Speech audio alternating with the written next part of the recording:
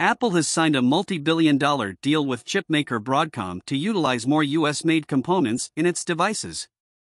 The agreement entails the development of 5G device components designed and manufactured in America.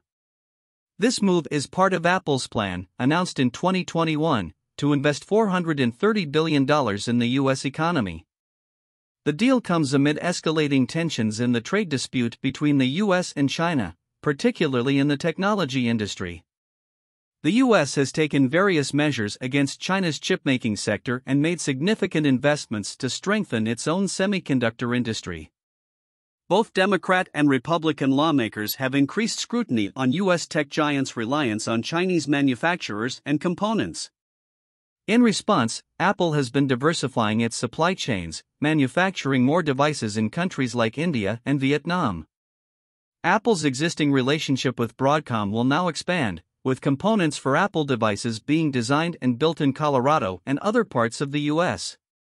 Apple's CEO, Tim Cook, expressed enthusiasm for the deal, highlighting the company's commitment to American manufacturing.